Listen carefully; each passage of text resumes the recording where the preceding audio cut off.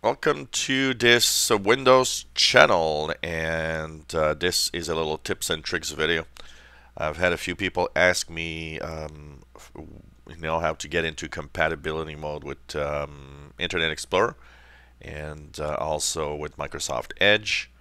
Well, the first thing that I have to say is that compatibility mode is unavailable in Microsoft Edge so don't search for it in any of the settings there is no such thing as compatibility mode um, available here. Apparently in a future update of Edge there could be a compatibility mode available eventually.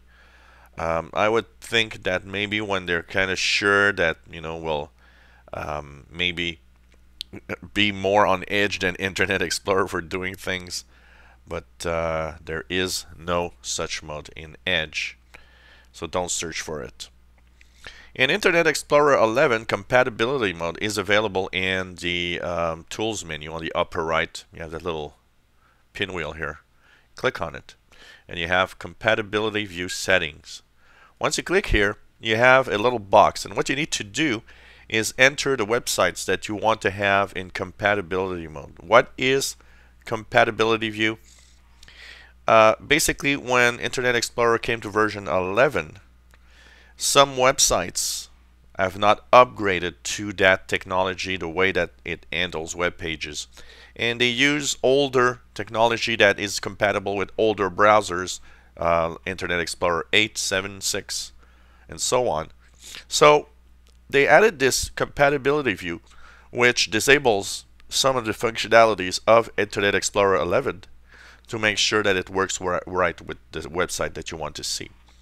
So usually if you go to a website and have some problems viewing, viewing it correctly or some of the things in the website doesn't work well, it's possible that it needs to actually be viewed uh, with an older browser of Internet Explorer. There are websites out there that are really optimized for Explorer and you know now less and less but you know there's there's still some that exists especially on some websites that don't update their code very often.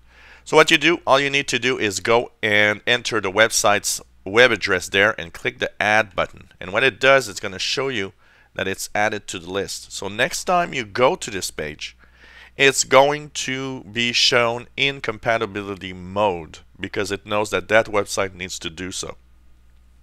If you want to remove one, you just click on the website and click the remove button and that's it. So that's where you do it. It's available only in Internet Explorer 11.